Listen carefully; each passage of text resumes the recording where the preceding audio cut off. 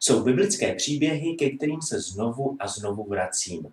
Jedním z nich je i ten o Ježíši, kráčejícím po rozbouřených vodách, o učednících, krčících se ustrašeně v loďce a Petrovi, který se odvážil vyskočit přes palubu.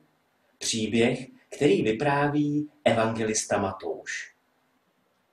Lotiž byla od země vzdálena mnoho stádií, zmítána vlnami, protože vítr vál proti ní. O čtvrté noční hlídce šel Ježíš k ním, kráčeje po moři. Když ho učedníci uviděli kráčet po moři, vyděsili se a řekli, to je přízrak. A strachem vykřikli. Ježíš na ně hned promluvil.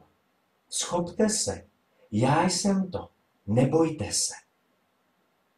Petr mu odpověděl, pane, sili to ty, poruč mi, ať přijdu k tobě po vodě. On řekl, pojď. Petr vystoupil z lodi, kráčel po vodě a přišel k Ježíšovi.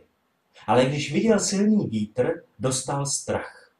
Začal tonout a vykřikl, pane, zachraň mě. Ježíš hned vstáhl ruku, zachytil ho a řekl mu, malověrný, proč si zapochyboval? A když vstoupili na loď, vítr přestal. Ti, kdo byli v lodi, se mu poklonili a řekli, opravdu si boží syn. Dvanáctičlená posádka brázdí rozbouřené moře.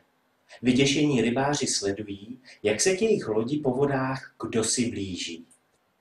Schopte se, to jsem já, nebojte se, zazní mezi dvěma údery hromu. Fakt je to Ježíš.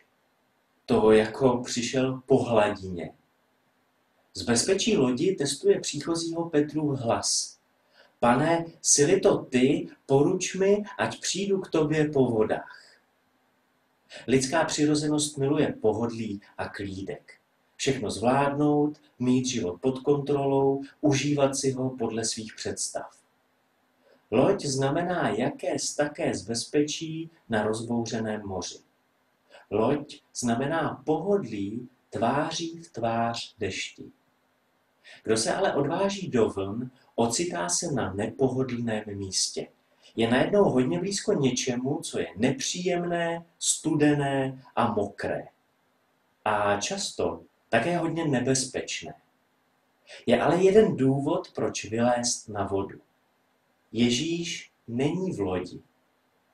Voda je to místo, kde Ježíš čeká. Petr vystoupil z lodi, protože úplně ze všeho nejvíc chtěl být tam, kde je Ježíš. Zajímavé je, že Ježíš byl blízko, byl na dohled. Jedenácti apoštolům to stačilo, jednomu ne. Petr nechtěl být Ježíši blízko, chtěl být u něj na maximum, tam, kde stojí on.